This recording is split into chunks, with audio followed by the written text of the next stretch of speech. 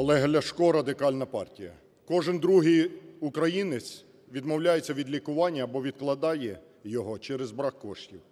94 пацієнти в Україні вважають основною проблемою високу вартість ліків. Ліки в Україні коштують дорожче, ніж в Угорщині, чи в Грузії, чи в Польщі, Білорусі у 2-4 рази. Це величезна проблема для мільйонів українців. Саме тому команда Радикальної партії зареєструвала проект законів, пакет законів під загальною назвою "Зробимо ліки дешевше". Ми пропонуємо план дій, який дасть можливість як мінімум на 30 відсотків знизити вартість ліків. Зокрема, встановити нульову ставку ПДВ на ліки, обмежити рентабельність, щоб не заробляли дурні гроші на здоров'ї українців, і запровадити зовнішнє референтне ціноутворення. Демонополізація аптек, щоб не монополізували в одних руках і не, руках і не накручували космічні ціни на ліки, заробляючи на здоров'ї пенсіонерів, малоімущих і нужденних громадян України.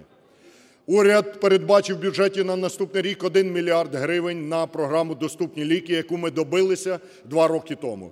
Наша вимога до уряду – 2,5 мільярди гривень на програму "Доступні ліки", зокрема, мільярд гривень на онкологію. Тому що, коли, не дай Бог, ця страшна хвороба приходить у дім, а вона не вибирає ні статусу, ні прізвища, ні національності, але в людей немає грошей, щоб лікуватись, щоб купувати ці дуже дорогі апарати. Програма "Доступні ліки", яку добилася наша команда, ми вимагаємо розширення переліку ліків по по програмі "Доступні ліки" для противірусних апаратів, антибактеріальних, антианемічних та інших препаратів для того, щоб рятувати життя людей. Так само удосконалення патентного захисту для того, щоб розрушити міжнародні картельні змови, щоб наш національний виробник продавав дешевші якісні ліки. Ми звертаємося до уряду з вимогою, до парламентської більшості долучитися до ініціативи за боротьбу за зниження цін на ліки.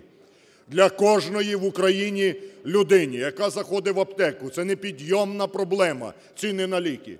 Наш абсолютно чіткий конкретний план, законодавчі ініціативи, які ми сьогодні зареєструємо в парламенті, дадуть можливість суттєво знизити вартість ліків.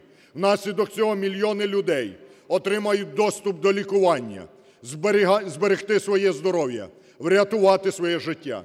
Закривати очі на те, що в результаті дорогих ліків, відсутності медицини, неадекватного керування Уляною Супрун Міністерства охорони здоров'я сьогодні страждають мільйони людей, закривати очі на це – це злочин, безвідповідальність, аморально, особливо перед людьми старшого віку. Тому ми вимагаємо дій по захисту здоров'я українців.